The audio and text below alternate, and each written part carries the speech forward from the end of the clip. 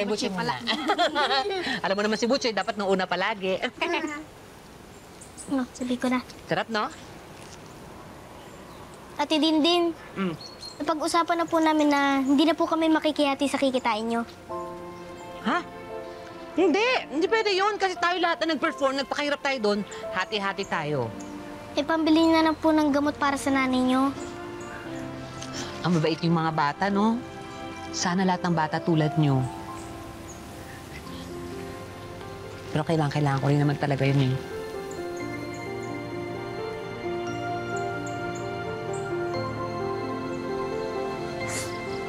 Ate Dindin, yun lang po ako nakakita ng clown na umiiyak.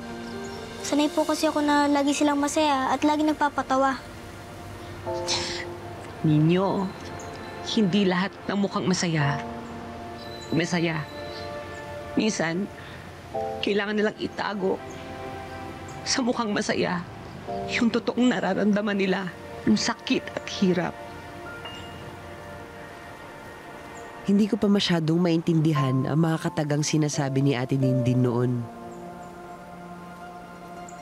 Pero alam kong may malalim at masakit siyang pinagdadaanan. Dama ko ang kanyang kalungkutan. Ay nako, tama na to. Ang tanong, gusto niyo pa bang matuto ng iba pang steps? Opo, para makatulong po kami! Ba natin? Let's go! O, tayo, tayo, tayo. O, o sundan niyo ako ha, para alam niyo yung gagawin niyo. One, two, three, and right. Left.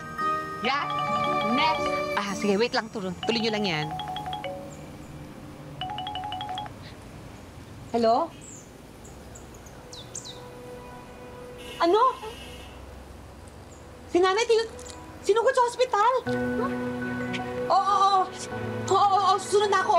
Pupunta ako agad, okay? Ano pong nangyari? Si nanay sinugod daw sa ospital. Inatake.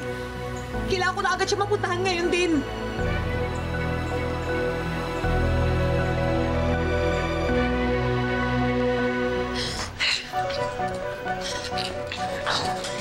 Ah, ninyo dito ka muna ha. Sandali lang ha. Sige po, Ate Dindin.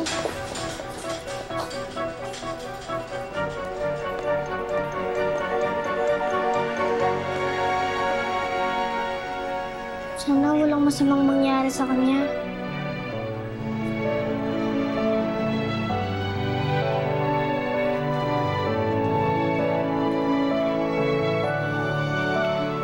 Lord, sana walang masamang mangyari sa nanay ni Ate Dindin.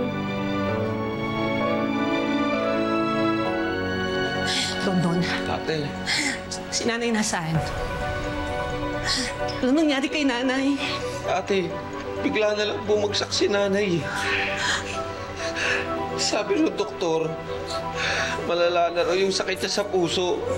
Kaya kailangan niya maoperahan agad para gumaling siya.